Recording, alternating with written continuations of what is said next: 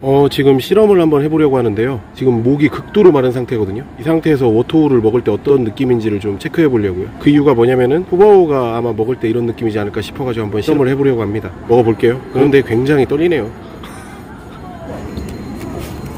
어, 이게 끈적거려요, 이거. 팍팍하게 죽겠습니다. 장난 이거. 정확하게 비율을 드릴게요. 무슨 맛이냐면, 미숫가루 아시죠? 미숫가루. 미숫가루를 완벽하게 농축을 시킨 다음에, 그거를 찬물하고 섞어서 막 버무립니다. 떡처럼. 딱 그 맛이에요, 그 맛. 근데 이게 웃자고 찍은 컨텐츠이긴 한데, 약간 울컥하네요. 후바오가 이런 느낌이겠구나 싶어가지고.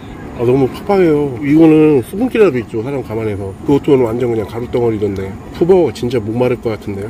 이 목이 메이는 게 울컥해서 메이는 건지 머토 때문인지는 모르겠는데 더 이상 먹기가 힘들 정도로 뻑뻑해요 아 너무 힘들어요 이 상태에서 만약에 마른 대나무를 먹잖아요 최악일 것 같습니다 왜 푸버가 병났는지 알 것 같네요 그래서 계속 못 먹고 있어요 만약으로 접해가지고 미니메이드 사놓게 했거든요.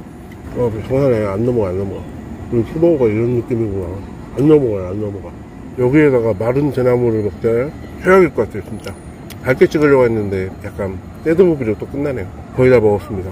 이러니 물고만 다니지. 아 너무 답답해요 지금 목이 심지어 푸바오는 동물이라서 말도 못하지 않습니까? 목마르다고 말도 못하고 더운데. 그러니까 물고 다녔죠. 먹을 건 없지 목은 마르지 버리기는 너무 소중한 음식이지. 마음이 좀 아픕니다.